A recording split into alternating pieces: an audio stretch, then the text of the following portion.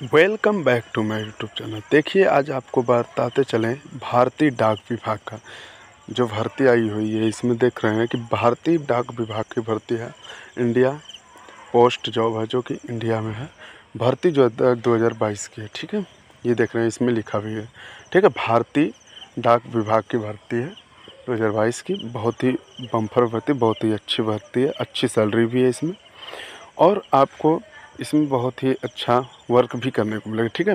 पूरे भारत के लिए है, महिला और पुरुषों के लिए, ठीक है? ऑफिशियल नोटिफिकेशन जारी हो चुका है। आप इसमें देख लीजिए पद, योग्यता सैलरी तीनों आपको बता दें, ठीक है? पोस्टमैन की जो पद है, उसके लिए पाँचवीं पास होना चाहिए। छब्बीस हज़ार सैलरी आपकी रहेगी।